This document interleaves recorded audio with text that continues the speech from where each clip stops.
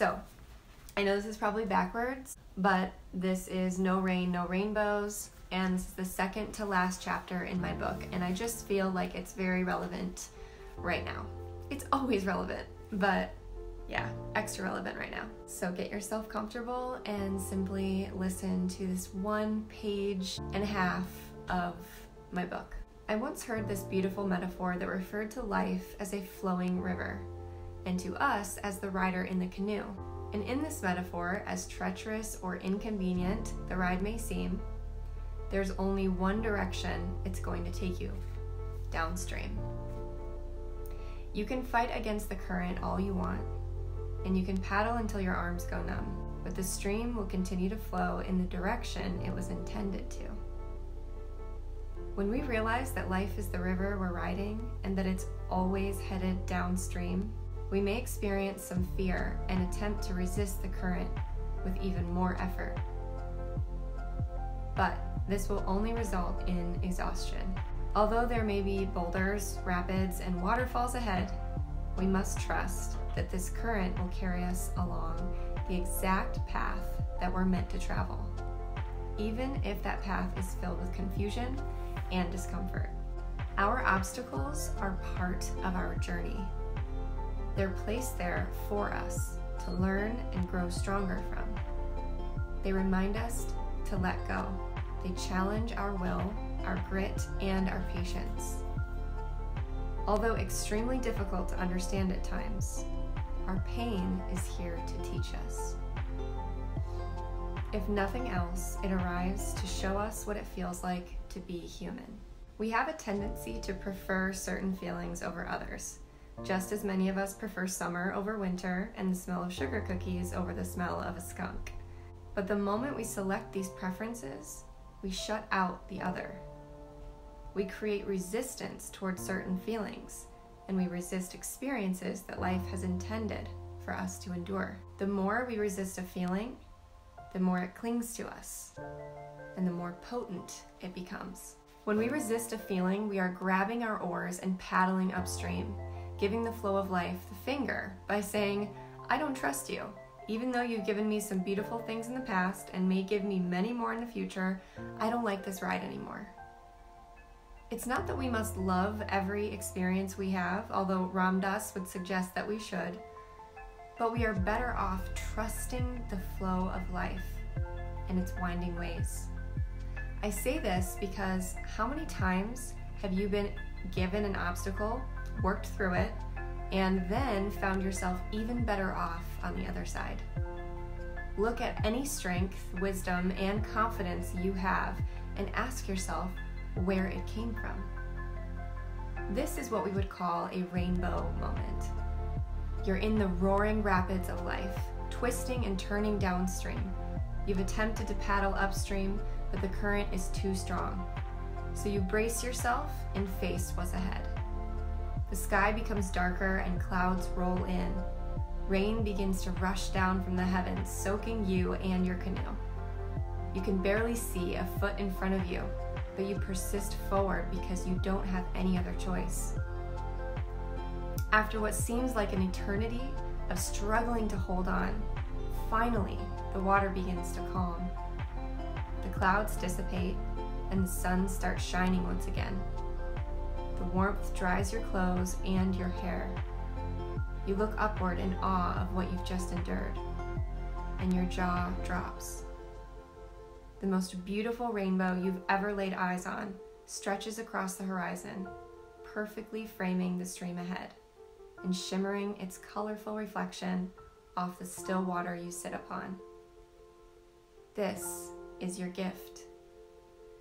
You now realize that it wasn't all for nothing. In fact, it was much more than a storm to be endured. It was a portal into the next version of you. It was the escalator into the next level of life. It was your soul giving birth to its expansion. No wonder it hurt. Whatever it is that you're going through right now, just know that it is the portal into the next version of yourself. When you feel like you are being beaten down by the storms of life, hold tight and stay strong because your transformation is underway. It's not supposed to be comfortable. You are shedding weight, you are building strength, and you are giving birth to a new version of yourself. When it hurts and you feel like you cannot endure the storm, remember no rain, no rainbows. So, here is the opportunity for reflection, which basically these are just things to think about, okay? You can write about these in a journal, come back to this with a journal, or just think about them right now as you're listening. Take some time to reflect on the storms or struggles you have endured and the rainbows or gifts that came as a result. Feel free to use the following prompts to guide you. What is the most recent storm that you have endured? This can be of any caliber and may have taken any form. So, what was the most recent struggle that you endured, that you got through? Small, medium, large, difficult conversation, um, a loss, uh, uncertainty, and you endured it. You overcame it, or at least you got through it. What did it feel like to be in that storm? What emotions came up while you were in it?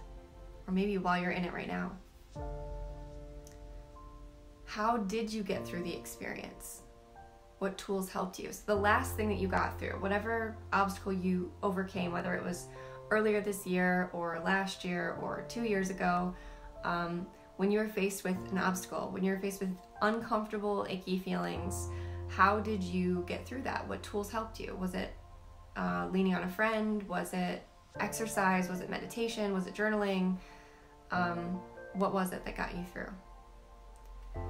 How did you feel once you were on the other side of that difficult experience? So, this is really important, you guys, because a lot of times we just keep moving on to the next thing and we forget our strength. We forget that we've overcome 100% of our most difficult days, right? Every single obstacle that you have overcome has brought you to be who you are today. And we have to consciously, intentionally look at that and go, oh, wow, yeah, I did overcome that. I did get through that. Even if it was messy and not perfect, you can at least go back and look okay, how did you get through that last hard thing? What did you do? Um, did you just cry it out? Maybe that was helpful. Did you journal it out? Did you talk it out? Did you just sit in your feelings? Did you, maybe you didn't get through it that well. Maybe you'd like to um, learn from past ways of coping, right? Maybe you leaned on things you, you necessarily um, don't want to moving forward. What gifts, if any, can I extract from that experience? What gifts could you extract from your last difficult experience that you um, endured or overcame? The more storms you can sort through and point out the rainbows, the better. This is all about training your mind to view obstacles and discomfort as opportunities for growth, as opposed to reasons for self pity or victimhood. And here's a quote by Gilbert K. Chesterton And when it rains on your parade, look up rather than down.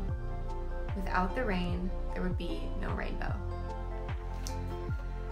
So, that was um, a micro chapter from my book, Coming Clean, called No Rain, No Rainbows. And I just felt like it was really relevant today um, and during this time because I know uh, a lot of you are having a tough time, but you have overcome so much. So don't forget that. And not only have you overcome it, it it, it didn't happen necessarily for a reason, but you could look back and find a reason for everything happening.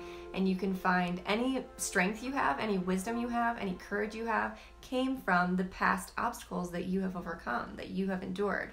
So you have to, if you want to feel better or if you want to, um, extract everything you can from this difficult experience, then you've got to look at it through that lens of, okay, this is a storm I'm enduring so that I can get to the other side and birth a new version of myself. And that's really the only thing that serves us. And victimhood victimhood does not, regardless of how valid it is. Your feelings are valid. Feel those feelings, um, but process them, express them, honor them, and then see what you can use this for, right? Use this experience.